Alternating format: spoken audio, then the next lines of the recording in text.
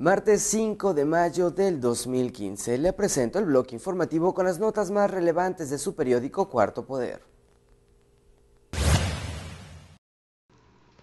A través del ramo 23 de provisiones salariales y económicas, la Secretaría de Hacienda y Crédito Público en este ejercicio 2015 asignó para el estado de Chiapas un presupuesto que asciende a casi 4 mil millones de pesos para la ejecución de un total de 158 proyectos, convirtiéndose así en la segunda entidad federativa económicamente más beneficiada a nivel nacional.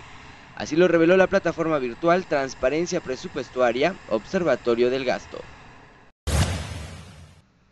El estado de Chiapas se encuentra entre los tres primeros congresos estatales, junto con las legislaturas del Estado de México e Hidalgo, que han ratificado la reforma constitucional que crea el Sistema Nacional Anticorrupción.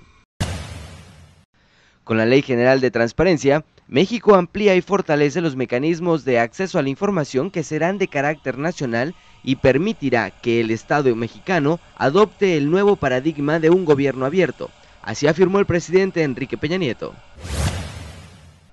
Luego de conocerse la presencia del fenómeno de mar de fondo en las costas de México, el gobernador Manuel Velasco Cuello instruyó de inmediato a la Secretaría de Protección Civil para que alertara y apoyara a los pobladores de las costas de Chiapas, lo cual permitió que la gente tomara sus precauciones oportunamente y con ello pusieran a salvo sus vidas.